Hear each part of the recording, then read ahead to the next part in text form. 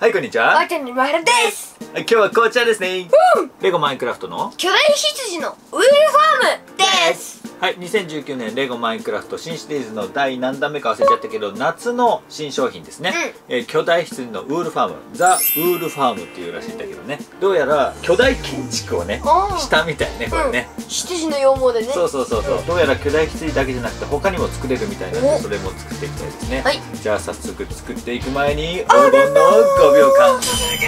この間にチャンネル登録やこの動画がいいなと思ったら高評価もお願いしますねくよせーのチャンネル登録はここをタッチ。登録されるとグレーに変わるよ。一緒にベルマークも押しちゃおう。はい、登録してくれたかな？もしこの動画がいいなと思ったら高評価もお願いしますねじゃあ早速作っていきましょ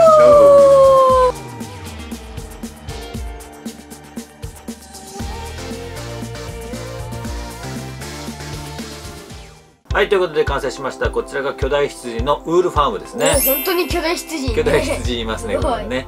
はい。割とちっちゃなセットだね。で、羊が赤い羊毛の羊と、黄色い羊毛の羊と、こっちに子羊がおりますね。うん一匹ね。でスティーブがここにいてスティーブはハサミを持ってます。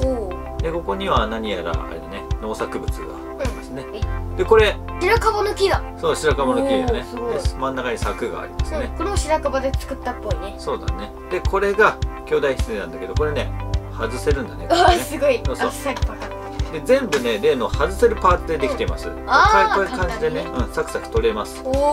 で箱の裏側に書いてあるんだけどこれが羊でしょ、でこっち行くとこれハートマーク。ハート。うん、でもう一つこれオウム。オウムだ。うん、すごい。3つできるみたいなんでね、うん。ちょっと作ってみようか、はい、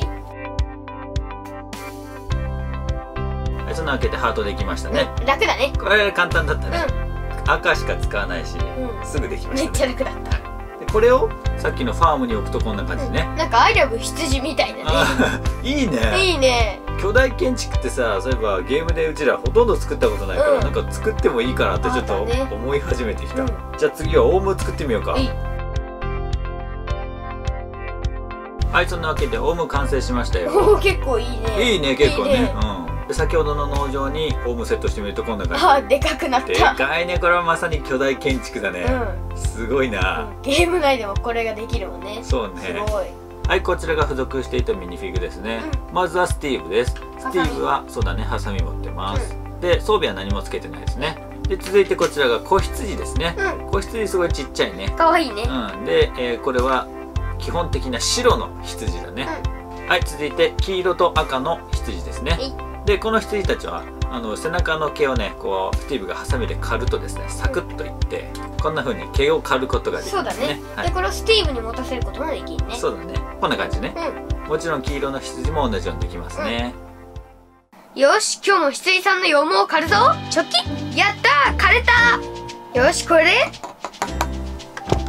これで巨大羊完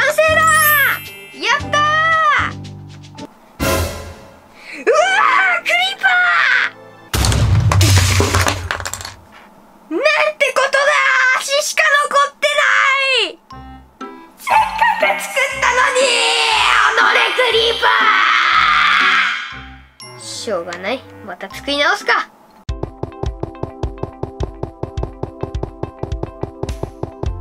よいしょ。